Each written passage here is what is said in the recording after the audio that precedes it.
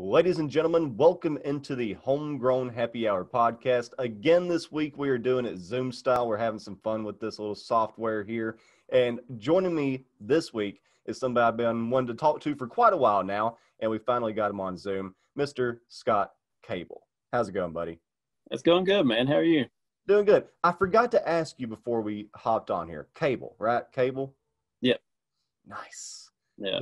Yes, some some last names are uh, a little bit tricky. Like I get Griffin all the time instead of I can- Griffith. I Do, can do- do that. you get anything out of cable, or is like most people just automatically get it?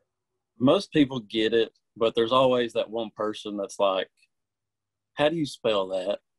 And it's like, like cable, like the TV, the cable guy. You know, like I get that joke so much. Like, I'm like, "Oh yeah, the cable guy's got the cable guy." Whatever.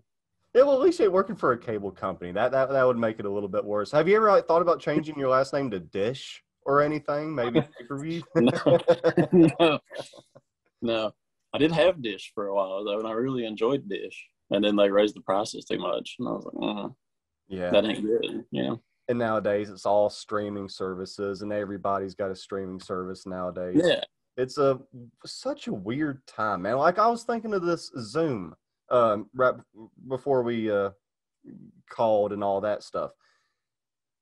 Last year, I would have never thought of this as an option. It would just been people in the studio talking as always. But now it's Right. it's amazing that we have this technology here that you're a- completely different place. I'm a completely different place. Yet Yeah. we're looking at each other, talking to each other face to face. It's really neat.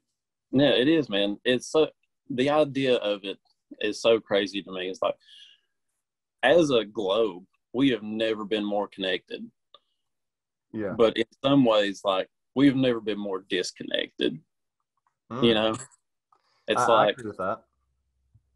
everyone, you know, the old saying, opinions are like, you know, everyone has an opinion nowadays, and Most of them. everyone, yeah, yeah, really, it's like we didn't we didn't know this before we were disconnected.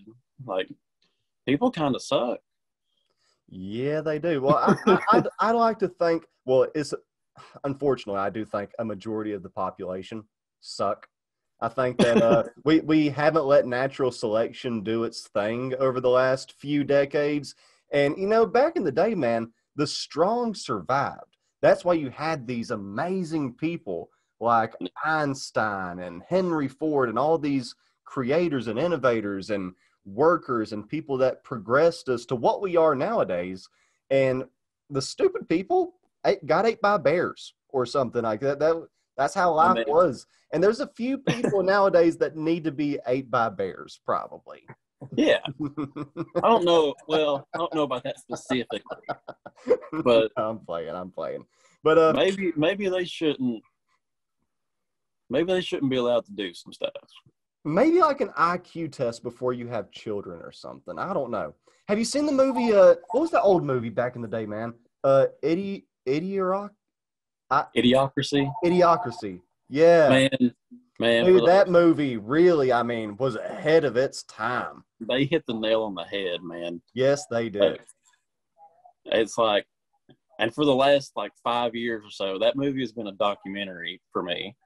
You know, it's like some weird stuff happened that affected everyone. And the only thing running through my mind is, oh man, when are we going to start watering plants with Gatorade? You know, it's like, I think we're at that point where it would make sense for someone to do that, and the world would just be like, maybe he has a point. yeah, all You know? all these futuristic movies tried to like predict the future and give us flying cars and all of this crazy stuff, but no, Idiocracy hit the nail on the head. They got it Yeah, Oh, dude, I saw something earlier. I was just scrolling through Facebook, and it was like they interviewed some kid in like '63 or something, and they were like, "What do you think the year 2000 will be like?"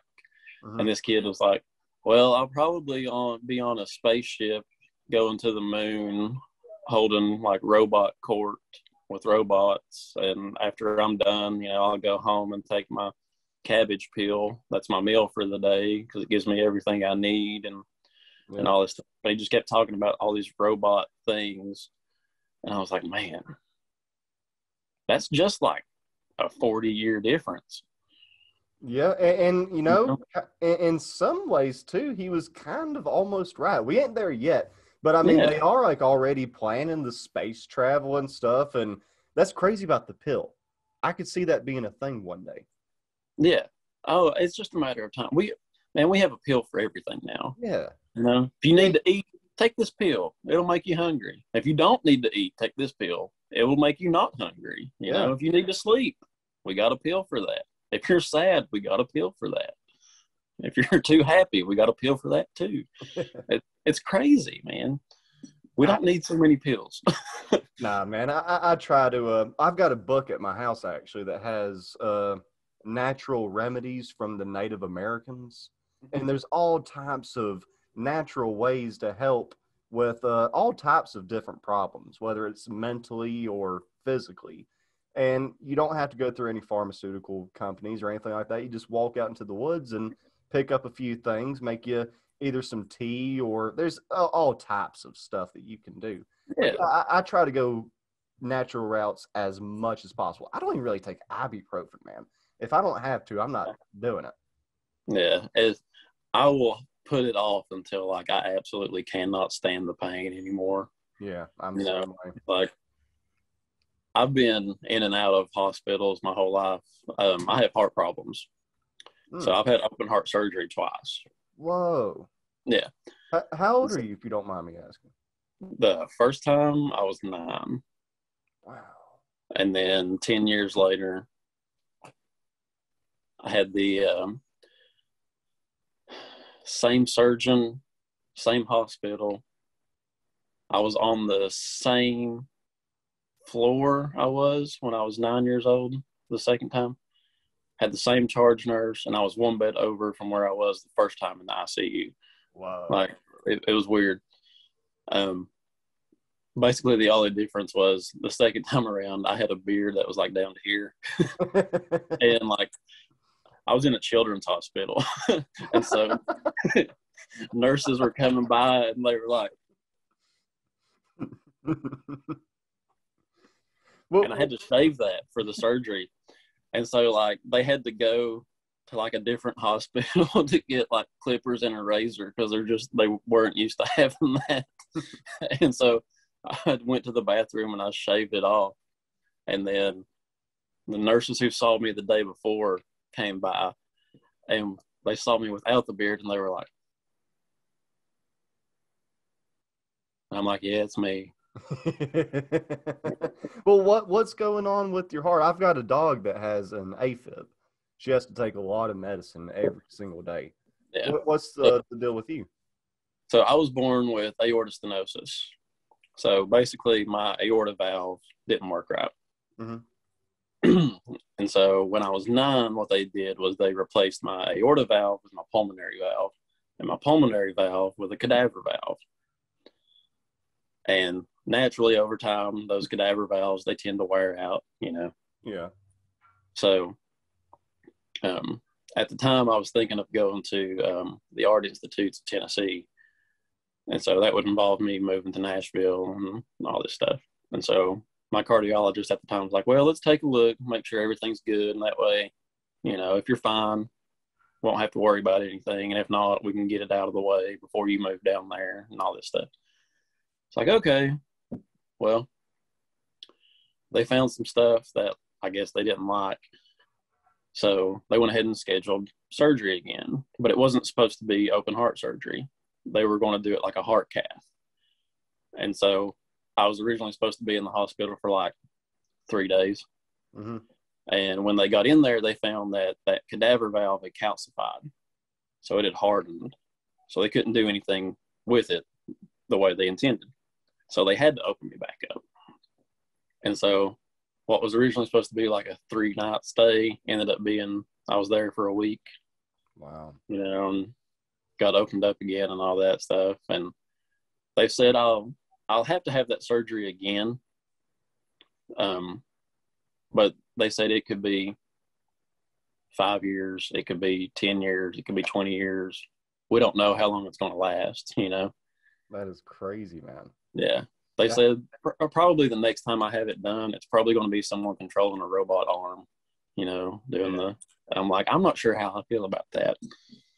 I it- it'll get to the point, man, where they can figure out consciousness and put us in robots and we live forever. They're they're doing something similar to that. Like they have a robot that uh if you have enough videos of somebody, it can use that voice. Yeah, like the robot talks in that voice. If you have enough if you have enough video of the person that died and you can upload it into this robot, the robot Okay. learns that voice and then will communicate as that person. Yeah, I think I saw something about that. I, Whoa. Hmm. I'm not sure how I feel about that. Yeah, th- there, there's some inventions that I'm think that I think like, oh, is that that's that's cool. Like I'm I'm not one of those people that's like like oh we're playing God. I think that like certain technologies are necessary for progressing us, but some of these some of it's just weird and creepy. Like yeah, that. that's very creepy. like that's getting into like Black Mirror territory, and I'm like, let's not do this. That is you a know. crazy show, man. The uh, I watched the interview with the creator of that, and he said that they had to like take a uh, break from that show because they were kind of getting creeped out because some of the episodes that they were making like were becoming reality. Yeah, Like they were almost predicting the future with that show. Yeah. And some of that, man, there's one episode. I ain't going to dive into too much detail because this is a for some reason a family program, I guess. But uh the, the, I mean the- it's a the- family show. you the- know. the two dudes though that were in the video game. Okay, I know the one you're talking about. I haven't watched it yet, but I know what you're talking about, and it's like Yeah, at the I end can of, see that happening. You know, at the end of that episode, you're it's such a mind boop, that like Yeah. you're, you're just you're staring at the TV afterwards like what did I just watch? man. The when I first watched it, I was like, "Oh, this seems like a cool show." And I wa- I can't the first episode with the uh, the prime minister and the pig. Yeah, dude, I was that like- was I was like, what a that's a hell of a way to open up a show. "Yeah." I was like, "What am I watching? Why am I watching this?" And then I kept watching. it's like a car wreck, man. You can't turn away. yeah. And the episode with uh the dude who um well the video game, they like have the thing that like hooks into their neck or whatever and it like lets you experience virtual reality or something. And like you go he goes through this whole thing of like being trapped in a haunted house or something Yeah. and it cuts to the end and they're like how long was he there and he was like less than a second i was like oh my god yeah. like give it 10 years and that's going to be reality you know Yeah, see, that's the thing, man. Like the future is so hard to predict nowadays with all of the advancements that we're doing. I talked about this last week. I ain't going to talk about too much, but the Neuralink thing still freaks me out. And that's Oh, yeah, to man. happen sometime this year. I mean, okay have you have you watched a movie called possessor Mm-mm. okay dude i don't know if you're a big horror nerd oh, you- well, I'm not like a horror nerd, but I love horror movies. okay like you follow me on social media oh, you Oh, yeah, know i'm a I that's what that was one of the topics I wanted to talk about for for sure. Okay, cool. Okay, cool. Well, this movie is it's David Cronenberg's son. So like the king of body horror and disgusting. His son is now making movies. Uh, his name's Brandon Cronenberg, I think. Basically, this movie is about a hit woman who uses something incredibly similar to Neuralink. She takes over her target's body and like becomes her target. Like she has to watch like thousands of hours of video, you know, all this stuff, and she learns how to imitate that person with their emotions and like how they would react to things. And she like takes over their body for however long it takes and like basically wrecks their life and the only way that she can get back into her body to have a successful mission is to cause the target to commit suicide Whoa. so she will like have this target commit like some murder or something. And then when the police show up, like have you know her do the, the thing, and she goes back into her body. But the company that she works for like takes over.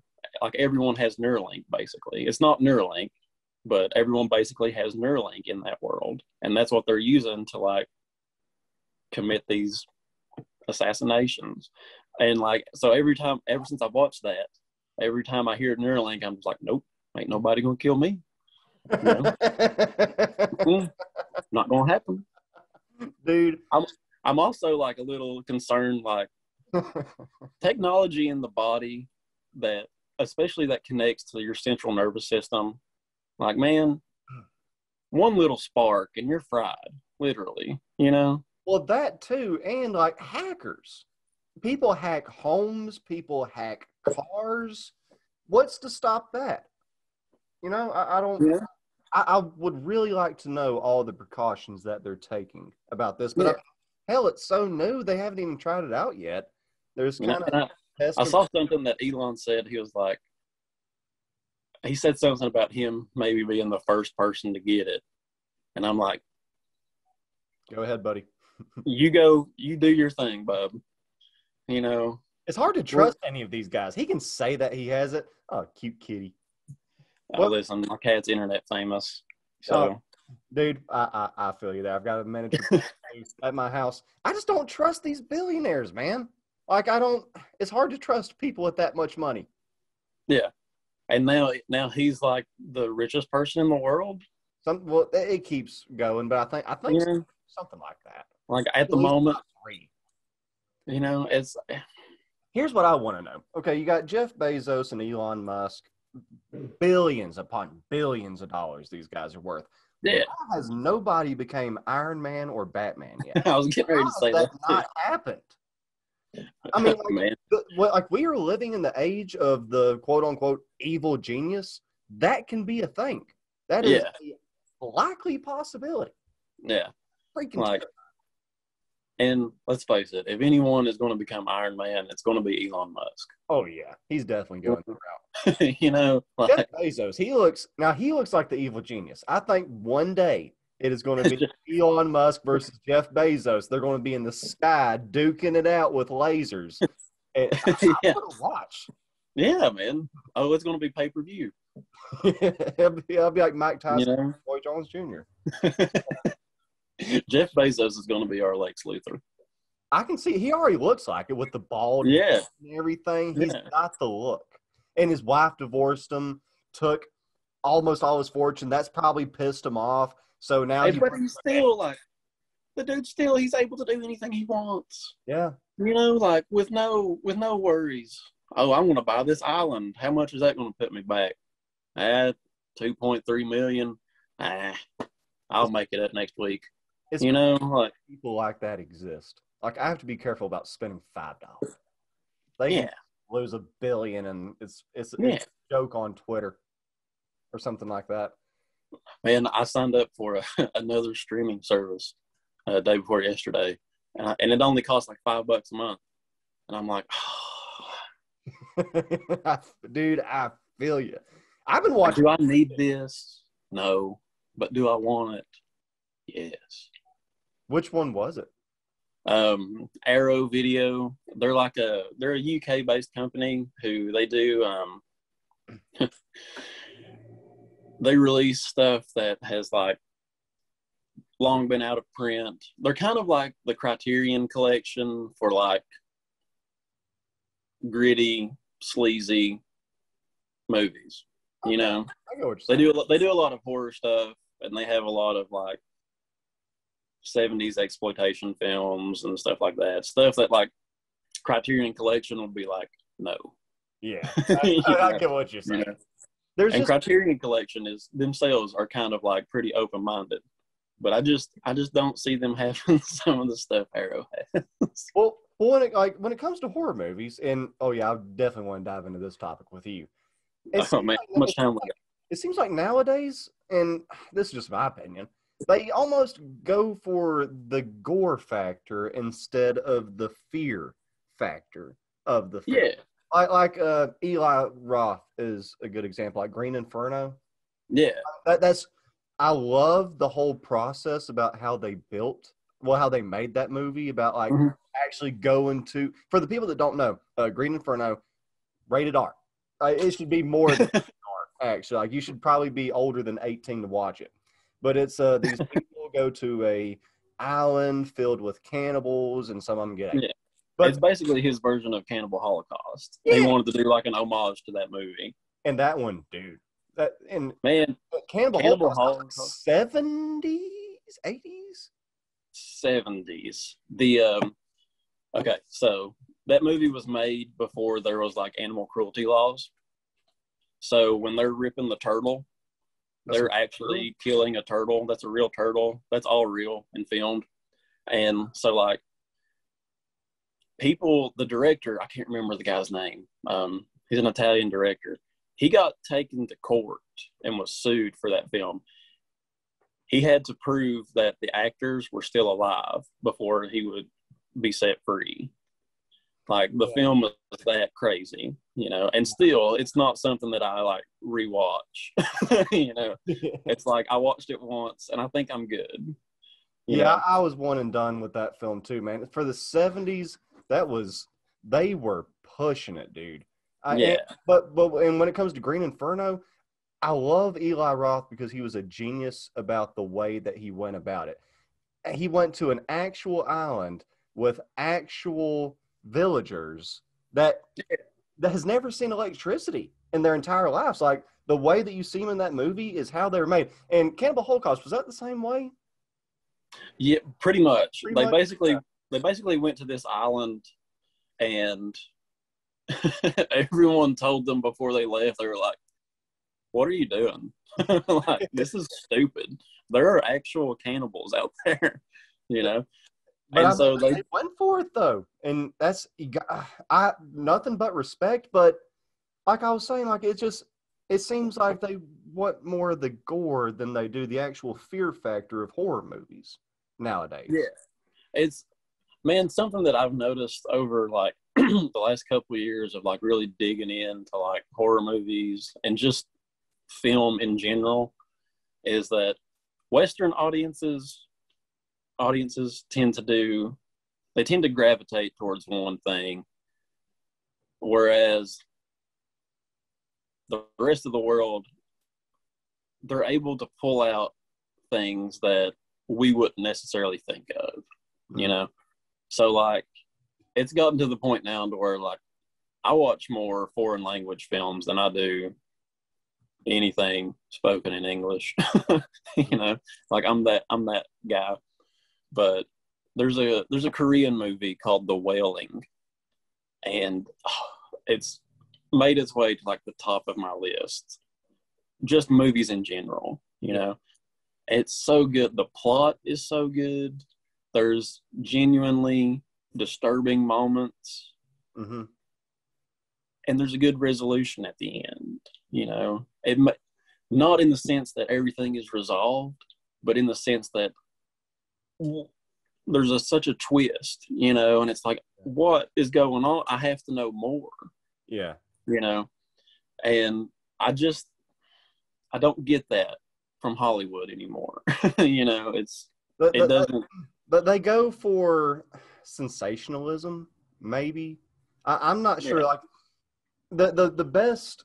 See, I what I love about a good movie or even a good TV show is the plot and Yeah, the same. suspense and the wow factor. The best thing that I've seen in the last few years is probably Ozark. Have you watched that show? I have not, but I've had several people tell me to watch it. dude you especially you you would love it. But like well, like like horror movies though i'm trying to the conjurings like all i can't remember all of them that tie in with that universe Right. those were pretty good i'll give them I can't get into those movies, and I don't know what it is. like the Insidious movies, The Conjuring, like that whole. I love that they've made a whole universe. yeah. You know, I love that there's this shared thing. But for whatever reason, I just can't get into them. I watch them and I'm like, like um, everyone was raving about um, the Haunting of Hill House. Yeah. the TV, the Netflix adaptation. You know, man, I forced myself to watch like half of that show, and I'm like, this is so boring. Like I can't do it. Why are people enjoying this? I, I ask that about a lot of stuff nowadays, but especially the horror movies. Like whenever I go back in the day, it's about like the shirt that you got on right now, Halloween, the old Yeah. Chuckies and stuff like that. Even the Chuckies, like I was terrified of that Man. like Chucky whenever I was a kid. But like Yeah. growing up, like I seen the seed of Chucky, I'm like, this is hilarious. This is one of the Exactly. funniest Okay. movies I've ever seen in my life. He kills So- Britney Spears. It's I have a I have a very I, I'm the same way. I used to like hate scary movies. You know, I was I was mortified of Chucky. Okay. And I have this very specific memory of me and my mom were home and she was just flipping through the TV, you know. and one of those movies was on. I can't remember which one it was. All I know is that it was Chucky. And my mom, my mom likes scary movies every now and then. She was like, "Do you want to watch this?" And I'm like hiding behind the pillow, like, "No, no." I was I was like six or seven. And then I, what's really funny is that I have this other specific memory of going to our neighbor's house, who is my mom's cousin actually, and we watched the movie. For whatever reason, we watched the movie Tremors Yeah. love that movie and I love that franchise. But that I that I very remember that being the first time I watched that movie and I'm like, this is awesome. Yeah. And I remember a couple of weeks later I found it on TV when I was flipping through. I'm like, oh hey, that's that movie with those big worms. I like that. you know? And then I found out there's a part two. There's a second one. And they're not worms anymore. You know? It's like this is awesome. And so I from there, I kind of like I always loved like Scooby Doo and like Courage the Cowardly Dog and that kind of stuff. but from Tremors, it's kind of like my gateway into horror movies and stuff. And once I started getting into it, I went back. And when I say I went back, I mean I went back to like the 20s and the 30s.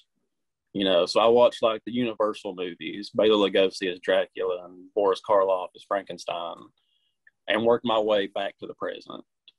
Yeah.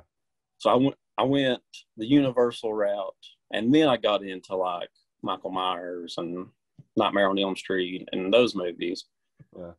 And then I got into like the actually scary stuff, you know, and started getting into like Dario Argento and all these foreign films and stuff. And now it's just like I have to go to Japan. Didn't they make a third Tremors? Wasn't that a thing? There's like seven of those things now, man. Dude, uh, Kevin Bacon done a commercial. Uh, I seen it last week. Yeah, saw he brings back Tremors for like a second. Like his, like he mispronounces it, and the guy and the other guy from Tremors, I forget his name. He's like, but it's Tremors. Oh, oh, Michael Gross. Yeah, Yeah, yeah, it's oh, great commercial. he was like, "It's Tremors." and that's and that's it. That's all we got. I'd love for there to be another Tremors. Didn't they talk about a TV show or something? Well, like there there was a TV show, that? Okay. but it didn't have Kevin Bacon, and there was talk a couple of years ago of Kevin Bacon doing a TV show, and they kind of made like a kind of like a faux trailer for it to kind of like I guess just to like judge reaction to it, and it looked badass, you know, and for whatever reason it never got made. And I'm like, that this hurts my soul. you know? In the age of remakes, man, that would be a good one. Did you watch the uh, Chucky remake? Not yet, but I love Aubrey Plaza. Oh yeah, dude. Whew. I love Aubrey I, Plaza. I got a wife, so I can't say too much. But uh, she's a great actor. I'll say that. Yeah. I'll say Yeah. that. But uh, oh yeah, and, and I think that uh, Mark Hamill doing the voice too. I, I know people were kind of nervous about it, but from the previews that I've seen and the little clips I've watched, yeah. kills it. I mean, heck, he was the Joker back in the Batman cartoon. He killed that. Yeah. Man, he's such a great voice actor. Like he's such a great actor, but such a great voice actor. Yeah, you would never know it's him. Yeah. When I heard like he was cast as Chucky, I was like, I don't know. You know, Yeah. Mark Hamill in horror. Okay. but from er- everyone has told me, it's like, oh man, it's so good. They did such a good job with it, and I just haven't sat down and checked it out yet. I, well, I, I guess they're. I guess in that movie they kind of started from the beginning again, so they don't Yeah. have the bride there. What was her name? The woman that played the bride, Oh, Jennifer Tilly. Jennifer Tilly. God, Yeah. if they make a part two, they have to bring her back. She was she was Uh, well- great in those movies. There's some kind of something is going on with it. I don't know what I don't know if it's a sequel to the Aubrey Plaza film or if it's just like a continuation of the original thing. But I I follow her on Instagram and she posted a while back. She was like, I can't believe I'm still doing something with this doll 20 years later. Oh, You know, I'm like, I'm like, okay, well, something's happening. That that'll be cool if she's involved, because her and uh, oh, Brad Dourif, yeah. you know, they made those movies. Oh, like that was all them, you know. Especially Brad Dourif. Like, man, that dude deserves so much, you know, and he doesn't get the recognition he deserves. Th- those were great films. They just weren't as scary. The the the Bride of Chucky and the Seed of Chucky was not as scary to me as the old school. Yeah, They yeah. just had a lot of humor, and and I and I liked that because I don't know, kind of made Chucky likable in a sense. I think that all horror Yeah. movies, like, well, well, not every horror movie, I would say, but sometimes you can see why the quote unquote bad guys do what it is that they do, and you Yeah. start to see yourself sometimes in these well, bad guys, like the Joker. That, that's a good example. Yeah. It's well, it's the same thing as like Frankenstein. Frankenstein was the monster, Mhm. not his creation. Exactly. You know, we relate more to the monster than we do to the doctor who created life. You know, and that's it's been that way all throughout, and that's why a lot of horror people are like, yeah, I relate to being the outcast. You know, I relate to to being whoever. I almost said Freddy Krueger, but let's not idolize a uh, pedophile. well, well, and uh, some of these uh, scary movies too are based on actual events. Wasn't Nightmare on Elm Street based on real events that took place? I seen Yeah. that on Facebook or Google. Yeah. Uh, Wes Craven saw um, there was there was like a kid in Taiwan who he was convinced that like something was after him and he wasn't sleeping because he was thinking like if I go to sleep it's going to get me Yeah. and like his parents started giving him like sleeping pills and he wouldn't take them and so i don't know what the actual cause of death was. Probably just like total body shutdown. Yeah.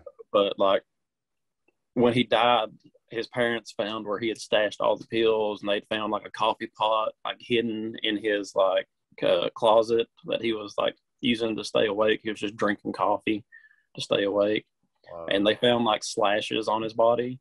And so Wes Craven saw this in like a newspaper and was like, hmm, that's an interesting thing. And that and that's how we got Freddy Krueger. Turn into a franchise. I watched the uh, Friday, um, not Friday, but the uh, Nightmare on Elm Street remake that they done. a- It was a few years ago, like Yeah. seven, eight years ago, something like that. Yeah. It was all right. I, Yeah. What was the What was the guy that played Freddy back in the day? Uh, Robert Englund. Robert Englund, dude. With, Yeah. Without him, you know, it's just it ain't the He same. yeah, he is that character. Yeah. And like um the guy who played him in the remake, uh, I think his name's Jackie Earle Haley. Um he was Rorschach in the Watchmen movie. Hmm, didn't know that. Like he he's a great actor, but the way that they went about that remake, they they took all the humor out of it, and I get they want to like make Freddy scary again and stuff, but after like twelve movies of Robert Englund, like no no one's gonna measure up to Freddy. It's hard Yeah. to fill them shoes, man. I Yeah. dude, I loved uh, Freddy versus Jason. To me, that is one of my Yeah. favorite movies of all time. Man, there's um a while back they did uh, these two documentaries. Um, they did one on Nightmare on Elm Street and then one on Friday the Thirteenth. And the Friday the Thirteenth documentary is like seven hours long. Wow. Like they go through every movie and they talk to like uh, the director, producers, as many of the actors that they can for every film. Mhm. And they do it for Nightmare too. And the Nightmare one is like four hours long. And they're so so good. Such good documentaries. But when they all they both get to Freddy versus Jason Yeah. and they go through like they said at one point there was like 150 scripts going around for that movie Dang. you know and there was like talk about throwing in michael myers for some reason there was talk about throwing in um, ash from the evil dead movies the bruce campbell character for some reason and like all this weird stuff like That don't make any sense. Exactly. You know, it's like they talked about like throwing in the predator for some reason. It's like why? Like yeah, that that's just pushing it right there. I wish they would have Yeah. done something like Chucky versus Leprechaun or something. That would, that would be cool. yeah. That would be cool. I would love to see. I wonder if we're ever going to get another like horror film like that where it's somebody versus somebody. I think what they ended up doing was um, they continued the story in comic book, Hmm. and and I think in the comic book that was when um, Ash from the Evil Dead series showed up, and it was like this weird thing. But I love those movies. Um, I what what was his name? Bruce Campbell, the guy that played. Yeah. Yeah, great actor, phenomenal actor. It's But so that's, good. that, that's a little bit weird though. yeah, yeah, I, I was like, not bringing those. No, they done the TV show, didn't they? The they uh, did a TV show. They're doing a sequel, and I think I think Bruce Campbell is directing. Hmm. Maybe that might be what it is. this is But it's it's Dude, I remember as a little kid watching that movie. I'm like, this dude is a badass. Like, I wanted Yeah. this guy whenever I wanted a chainsaw as an arm. That's cool. yeah. The video Army of Darkness. awesome too, man. I never played the video game. It's, it's, it's Army of Darkness though was that was the I was like I didn't make the connection for some reason when I first watched it that this was like Evil Dead yeah. for some for whatever reason and I was like oh this is so cool. I I wish there was more of this. Turns out there was. They just don't make horror movies like they used to. Um, have you No. seen Haunting in Connecticut? Yes. That was that was a good one. That got That one that one was creepy. And that's another one that's like based on a true story. yeah. you know. Um, I remember there used to be a show on Discovery or one of those channels, um, and it was just called A Haunting, Mhm. and it was about Oh yeah, yeah. I got I got some of those on uh, DVD actually. I got Okay. in Georgia and I got the Haunting in Connecticut one too. yeah. I was gonna say that was that was the first time that I heard that story was watching that show, and then I saw they were making a movie about it, and and I was like, oh, well, that's cool. I'll check that out, and it ended up being pretty good. I think they did the one about the Georgia haunting too, but I didn't watch it. Yeah, I mean they they were both really good. I I just love stories like that. Do you think that it's possible for there to be like any real life monsters, not like in the form of human beings? I know there's plenty of them, but like Right. actual other species of something out there. Man, um, hmm. I think that we're still finding like thousands of new species every day. Yeah. You know, um, and being the history buff that I am, and like as much as I nerd out about like country music and horror movies and stuff, I'm equally as interested in like folklore and religion. And all of that stuff, there's a grain of truth in all of that. Yeah. You know, it's like, for example, the story of the Banshee, the screaming lady in Ireland that like foretells death. hmm It's probably a barn owl Yeah. You know, they do that sometimes. And someone, it just happened to occur right before someone died, you know? Yeah. And so someone was like, oh, well, that's the lady coming to tell you you're dying. Yeah. This was also the same time that they were burning people for being witches too. You know. I mean, Yeah. Exactly. And I ended up doing my uh, senior capstone paper in college over the Salem witch trials.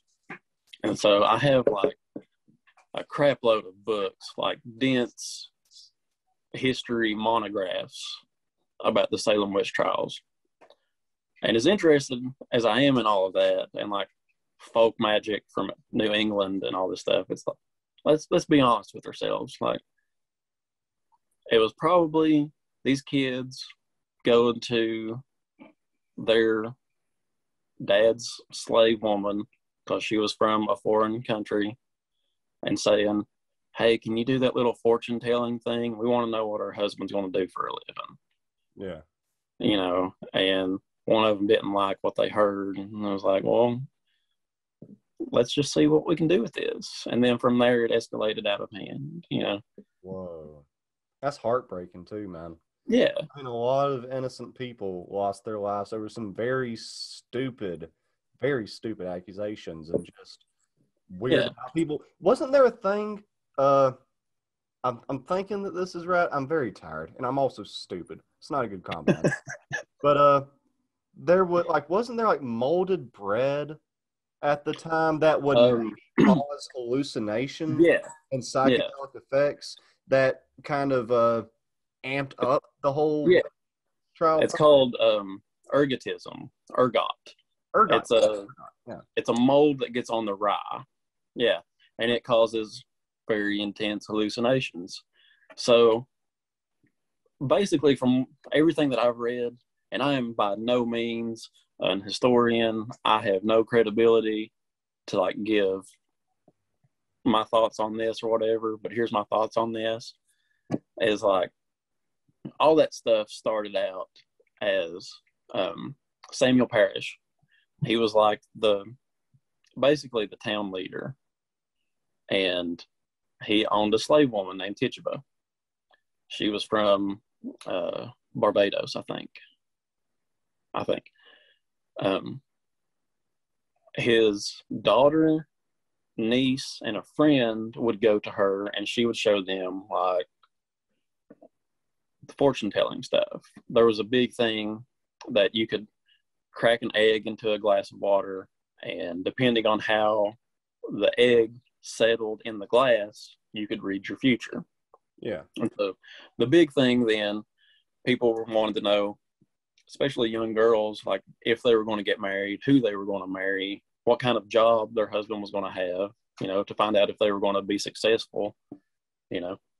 And so Parris went out one night, and so the girls went to Tituba and probably said, "Hey, let's do the fortune telling thing," you know, because Tituba was the one who primarily took care of them. hmm They did it. They went back home.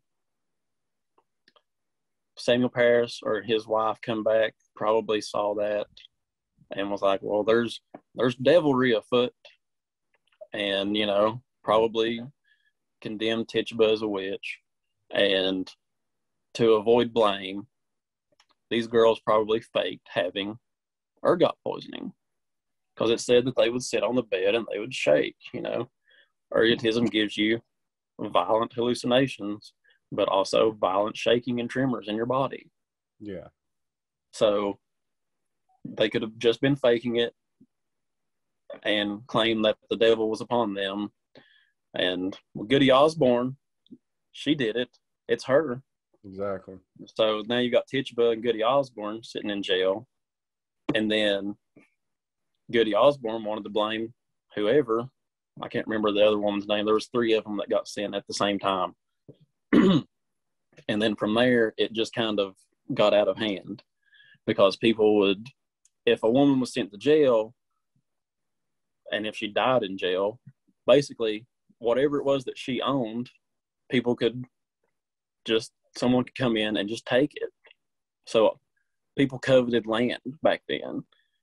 So if one of these women died in prison, they would basically relieve their land properties. Oh. Mm. See, I mean, what's more likely, somebody actually being a witch or just some butthole wanting to blame it on somebody to get Yeah. the land. But here's the thing about it too, is like everyone was doing folk magic back then. The fortune telling stuff, yeah, like everyone was doing that. The clergymen back then were doing that. But it was okay for them because they were clergy. Mm. You know, they wanted to know are my crops going to grow? What do I need to do at this time to make my harvest bountiful and all this stuff? Well, They were all hypocrites. was it like was it a gypsy thing?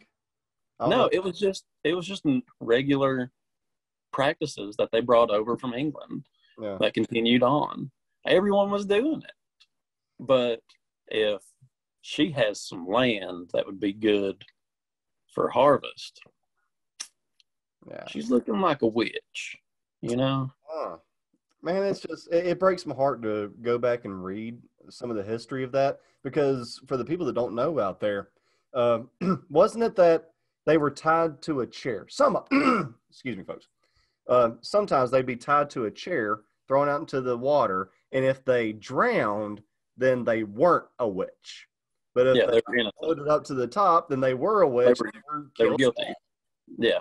It's It's it's crazy. Man. I mean, we used to be such barbaric people yeah. back in the days. I mean, we still are to an extent, but it was way worse back in the day. Oh yeah. Um, most of the people who were witches, most of them ended up dying in jail. They would just rot in jail Yeah, because they wouldn't let. Let's say one thing for the prison system. At least you get food nowadays. yeah. Yeah. They probably like just terrified to be around uh, those people, Yeah. like the like the prison guards or whatever they were called back then. If I was a prison guard and somebody said that that's a witch, I ain't gonna get to, I ain't gonna get close to her.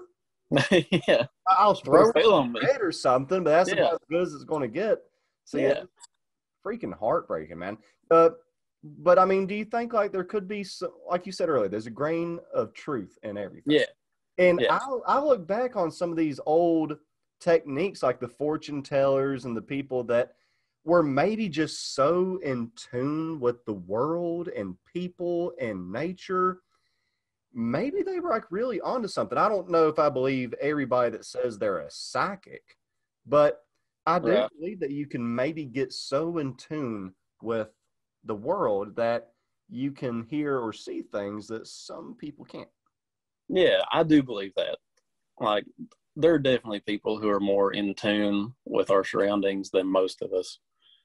And there are people, some people, that I believe when they say they saw something, I believe they saw something. You know, some people do have compelling accounts, and some people even have evidence. Um, depending on what it is they said they saw.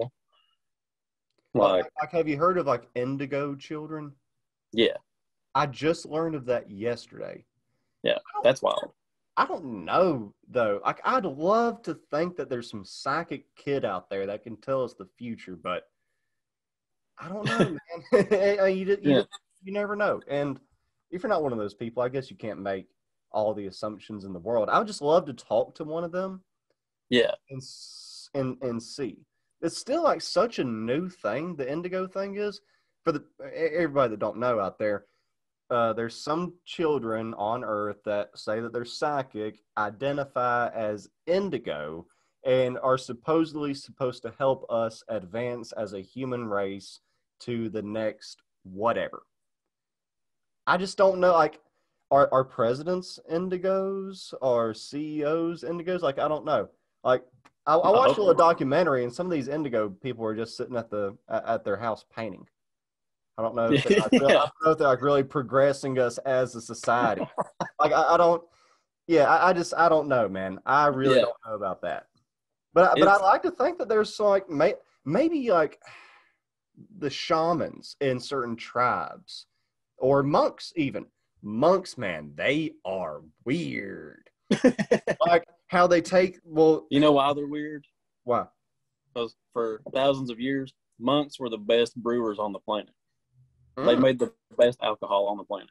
did not know that i just i just think that it's crazy how they they take the vow of silence and they learn to control their body so much that they're almost not not not that they're invincible, but they're invincible to pain. They have such a high tolerance. Yeah. Like uh, there was this one guy that uh was like like laying on spears, like actual spears, and they Yeah. weren't piercing his body because he could do stuff with his body to not make the spears go in. And the one that was uh I think that he was protesting against the Vietnam War.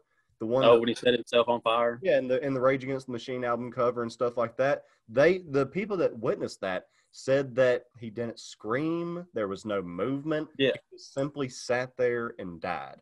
And Okay, I know I know you're a big comedy person, but so like I love Richard Pryor. Yeah. You know when Richard Pryor set himself on fire, yeah. it was because of that monk. well, He- Him the- and his like uh, bodyguard was watching it on TV, and his dude was like, "You see that man's conviction? He's standing up for what he believes in." And Richard was like, "Man, he set himself on fire. Screw his conviction." You know. yeah. And then his his guard was like, he said he got up, went to the house, then like five minutes later he came running through on fire. I was like, oh, okay, Well, maybe crack had something to do with that. It definitely did. Back in the it day. definitely did, yeah. definitely did. Pryor, Pryor's one of the best to ever do it, crack or not. But but, but the monks, I mean, like I know we can't talk to them because they take the whole of silence thing, and it pisses me off because I'd love just to.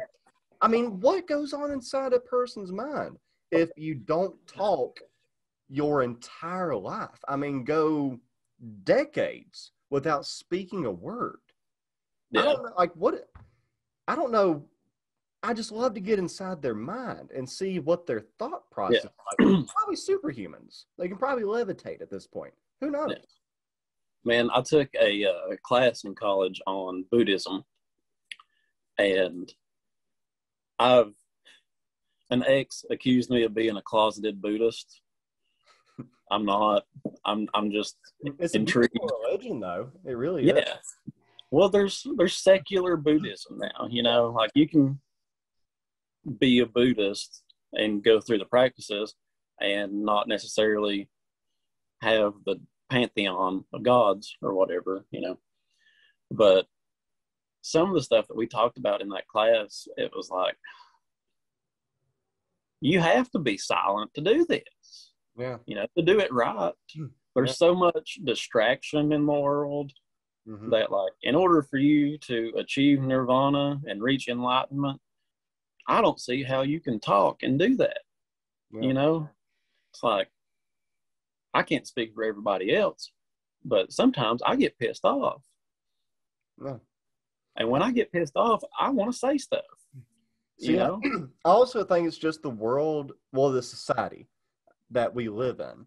We live in such a materialistic society full of social media where everybody can say exactly what's on their mind.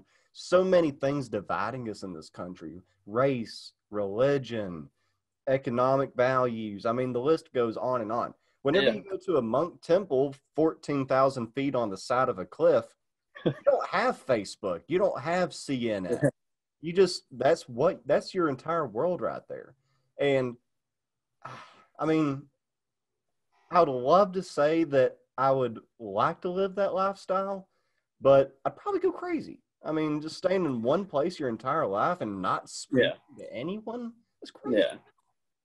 but So sometimes I like the idea of isolation, but at the same time, it's like, man, people may suck, but there's some people who suck a lot less than others, you know. And I want to go talk to those people, you know. it, it, it- i mean just like interaction is such a beautiful thing. And to think that Yeah. i'm sure that they interact how do they you would have to think that like they have to talk somehow. I have to watch a documentary about that. I don't know too much. Like do they write it on a sheet of paper? What if one of them's getting chased by a bear or like or, or like their house is on fire or something and they have to warn everybody how do they do that i don't They just ring a gong, maybe you know, three times for fire, four times for we're out of water, And there's that one deaf monk that's just screwed. yeah. Yeah. It's it's it's fascinating though that there are people like that on this Yeah. planet. I mean, Yeah. they're almost like aliens. It really is. Yeah, there was a I watched a movie. I watch a lot of like Japanese films. Um and there's a lot of like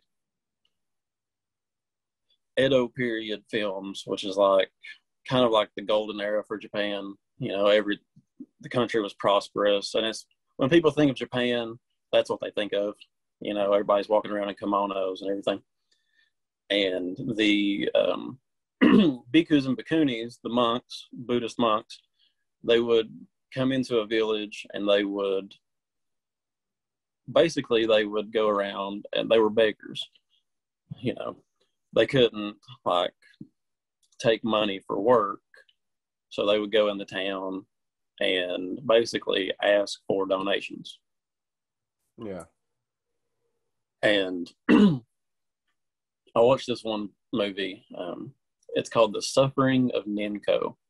And it was about this monk in training who he would have to go into town and do all of this work for free, you know, like rebuild homes and plow fields and all this stuff, not get paid for it, and then have to go around and beg people for money, Yeah. you know. And then you have to go back to the temple and get beat with a stick because he wasn't concentrating hard enough, you know and he gets he ends up like getting tempted by this like basically some kind of sex demon.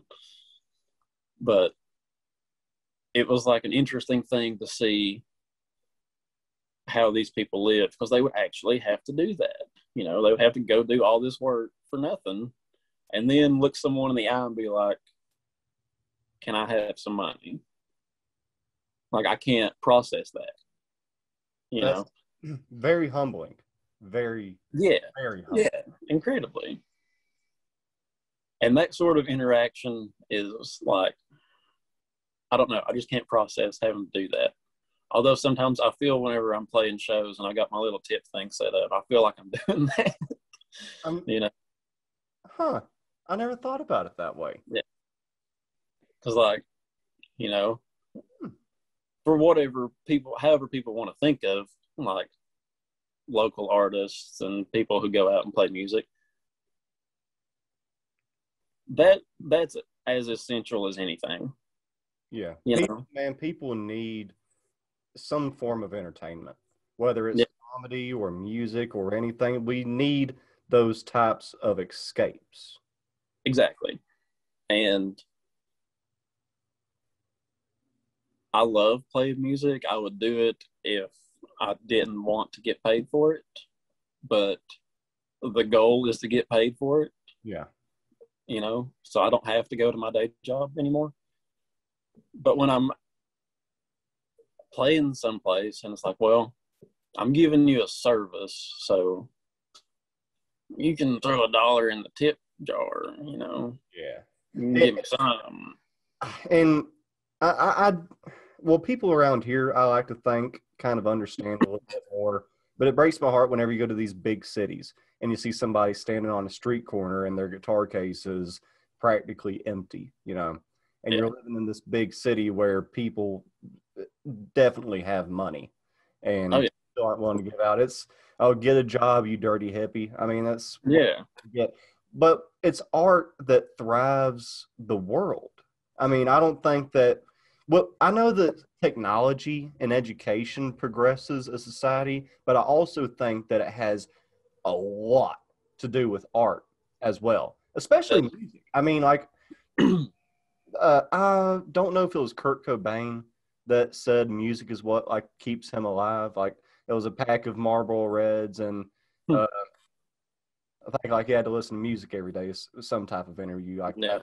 But I mean, really, like I couldn't imagine a life without music. It would be almost meaningless to me. I could Yeah. do without money. I could do without a lot of things, but music, especially, is definitely not. Yeah. I couldn't do it, man. Like, I have a pretty decent vinyl collection, and like that, if I have a preferred way of listening to music, it's through vinyl. Yeah. but I don't get to sit down and listen to vinyl every day. You know, Yeah, it takes So- a lot. I'm fine with streaming. I can't take it my record player and put it in my car and listen to it while I'm driving. You know, flip the record over and all that. Like I'm fine with that, but taking all of that away would just it would be so miserable.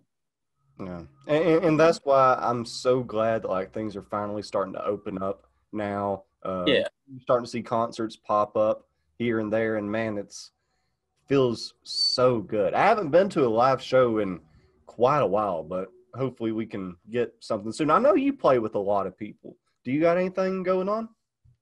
Um, April 24th, I think I'm getting that right in my head. April 24th, I'll be at the SIP in Paintsville.